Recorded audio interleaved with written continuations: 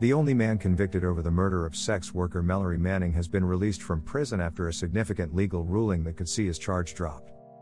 Mauha Huatahi Fawcett, a former mongrel mob prospect, was found guilty of being a party to her murder in 2014 and sentenced to at least 20 years in jail. His conviction was quashed by the Court of Appeal in 2017. Its reasons were suppressed. A retrial was set down for February next year, but Fawcett's lawyers are understood to have challenged some important evidence the Crown wanted to use. The result of that challenge is suppressed, but it led to Fawcett's release on bail on September 28. He is required to appear in court on October 26. It's understood the Crown will seek the court's leave to drop the murder charge against Fawcett on that date. Suppression orders will also be reconsidered. Fawcett is the only person convicted in relation to the murder so far. Police have reactivated the case in recent weeks with public appeals for information in print and on television. Police said they could not comment on why Fawcett had been released.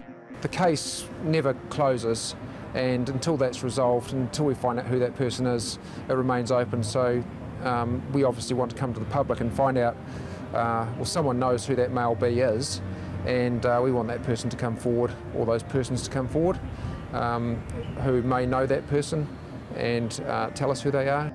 Manning was stabbed, strangled, sexually violated, and bashed with weapons after she was picked up from her street corner in Christchurch on December 18, 2008.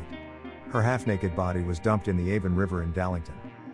Several people are thought to have been involved in her death, and police are keen to identify a man dubbed B, whose semen was located in the postmortem. Manning went to work on the evening of December 18, 2008, and stood on the corner of Manchester and Peterborough Streets about 9:30 p.m. She had not worked for some time but wanted to earn money to buy Christmas presents for her family. The public reported many sightings of her standing on her corner, wearing a distinctive pink skirt and a blue and white polka dot bikini top. She had two clients between 9:30 p.m. and 10:35 p.m. Both were cleared as suspects. One of the clients dropped her back to her corner. Her body was found floating in the Avon River near Dallington Terrace about 6:40 a.m. the next day, sparking the police investigation codenamed Operation Dallington. At Fawcett's trial in 2014, he conducted his own defense. His former lawyer, barrister Craig Ruane, was appointed as amicus curiae, counsel to assist the court. Fawcett, then 26, told the jury he made a false confession to police because he was coached, or he was high on methamphetamine.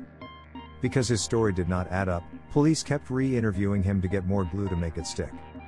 I've talked about how I took part in hurting Miss Manning.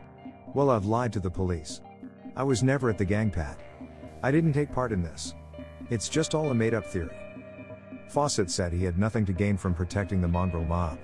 I'm wanted by the mongrel mob. I will never protect Male B. Maleby is the person whose DNA profile was obtained from a semen sample found during a post mortem examination of her body. The Crown said Manning's murder was a planned hit organized by senior mongrel mob members, either because she owed the gang a drug debt or did not pay tax to the mob when she worked on the street. Detectives have launched a fresh appeal for information from the public in relation to this murder. And as of now, the only man convicted, Mauha Huatahi Fawcett, also known as Muck Dog, has been released from prison, reasons of release being suppressed.